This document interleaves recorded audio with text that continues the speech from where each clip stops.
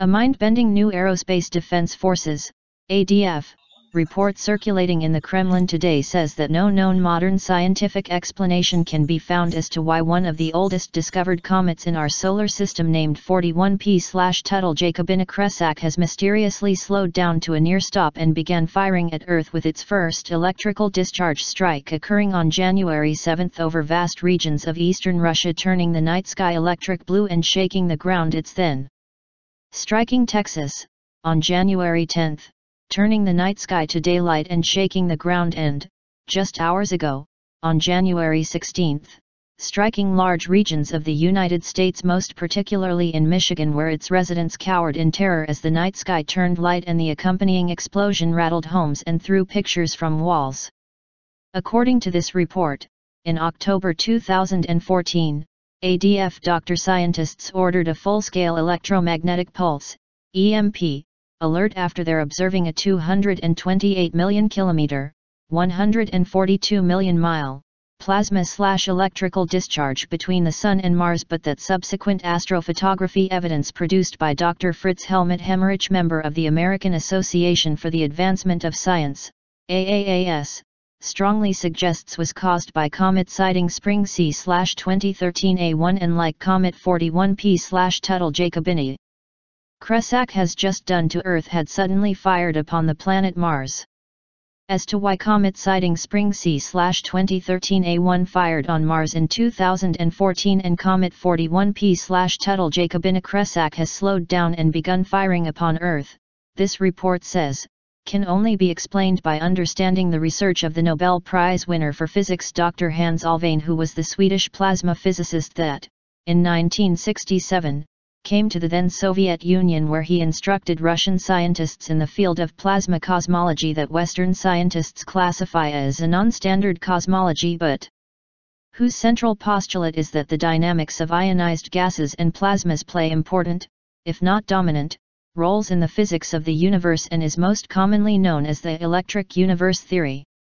Western scientists' hatred of Dr. Hans Alfvén, this report explains, was due to his use of philosophy, literally means love of wisdom, in researching the electric universe theory and who had begun his initial research by basing it upon the findings of the American philosopher George Woodward Warder who, in 1903, published his groundbreaking book Universe a Vast Electric Organism and wherein he astonishingly described the massive electrical space tornadoes occurring between our Earth and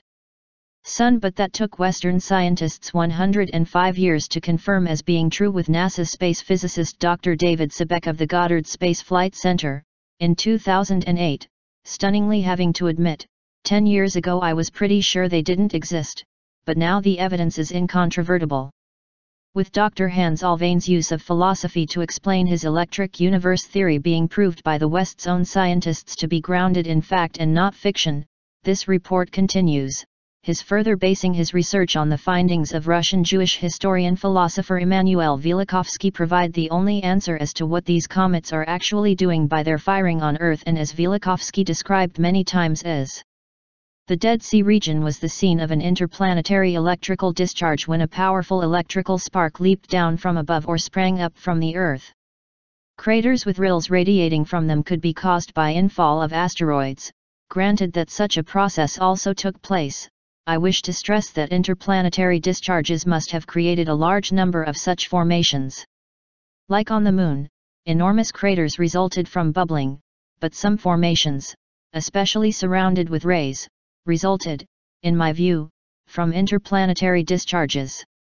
through the ADF does admit that modern scientific research has absolutely no idea why a comet would slow down and begin firing electrical discharges into our planet. Dr. Hans Alfvén's philosophy historical based electric universe theory most certainly does and that includes the largest impact crater ever discovered in Australia being described in its aboriginal indigenous peoples legends as having been formed by giant lightning bolts coming from the sky and the American Grand Canyon. Likewise, said to have been created by electrical bolts from the sky, not eroded by the Colorado River as Western scientists claim. Most concerning to the ADF, though, this report concludes, is that since Comet 41P-Tuttle Giacobini Kresák began slowing down this past spring, an outbreak of mysterious sky booms began to be reported the world over and that have now been joined during this past week with the night sky, also, turning electric blue and these sky booms causing the ground to shake, too thus highly suggesting that whatever is occurring will, undoubtedly, get worse and has caused the American Christian fundamentalist Nibiru believer David Meade to announce he and his followers are going into hiding.